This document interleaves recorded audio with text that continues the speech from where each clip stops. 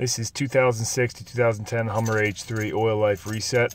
If you're displaying the change oil, you're gonna turn the key on and pump the pedal three times, fully depressed, slowly.